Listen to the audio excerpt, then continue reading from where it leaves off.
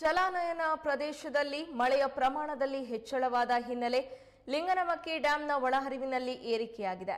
ಕಳೆದ ಎರಡು ದಿನಗಳಿಂದ ವರುಣನ ಅಬ್ಬರ ಜಾಸ್ತಿಯಾಗಿತ್ತು. ಸದ್ಯಕ್ಕೆ ಹದಿನೇಳು ಸಾವಿರದ ಐನೂರ ಎಪ್ಪತ್ತೈದು ಕ್ಯೂಸೆಕ್ ಒಳಹರಿವು ಇದೆ.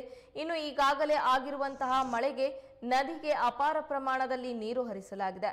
ಒಟ್ಟು ಹೊರಹರಿವು ಹತ್ತು ಸಾವಿರದ ಒಂಬೈನೂರ ಅರವತ್ತಾರು ಕ್ಯೂಸೆಕ್ ಇದೆ.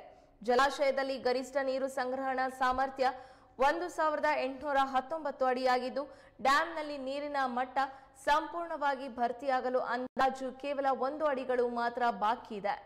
ಪ್ರಸ್ತುತ ಡ್ಯಾಂನಲ್ಲಿ ಒಂದು ಒಂದು ಸಾವಿರದ ಎಂಟುನೂರ ಹದಿನೆಂಟು ಪಾಯಿಂಟ್ ಒಂದು ಅಡಿಯಷ್ಟು ನೀರು ಸಂಗ್ರಹವಾಗಿದೆ. ಮಳೆ ಏನಾದರೂ ಮತ್ತೆ ಹೆಚ್ಚಳವಾದರೆ ಜಲಾಶಯದ ಸುರಕ್ಷತೆಯ ಹಿತದೃಷ್ಟಿಯಿಂದ ಮತ್ತಷ್ಟನ್ನ, ಮತ್ತಷ್ಟು ನೀರನ್ನ ನದಿ ಪಾತ್ರಕ್ಕೆ ಹರಿಸಲಾಗುತ್ತದೆ.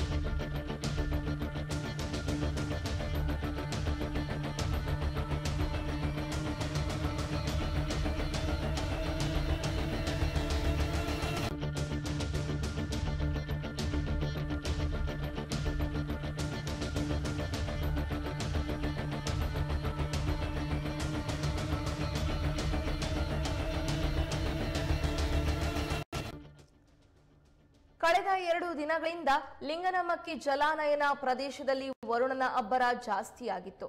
ಜಲಾನಯನ ಪ್ರದೇಶದಲ್ಲಿ ಮಳೆಯ ಪ್ರಮಾಣದಲ್ಲಿ ಹೆಚ್ಚಳವಾದ ಹಿನ್ನೆಲೆ ಲಿಂಗನಮಕ್ಕಿ ಡ್ಯಾಂನ ಒಳಹರಿವಿನಲ್ಲಿ ಏರಿಕೆಯಾಗಿದೆ.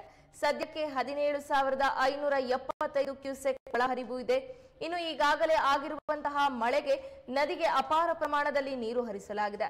ಒಟ್ಟು ಹೊರಹರಿವು ಹತ್ತು ಸಾವಿರದ ಒಂಬೈನೂರ ಅರವತ್ತಾರು ಕ್ಯೂಸೆಕ್ ಇದೆ.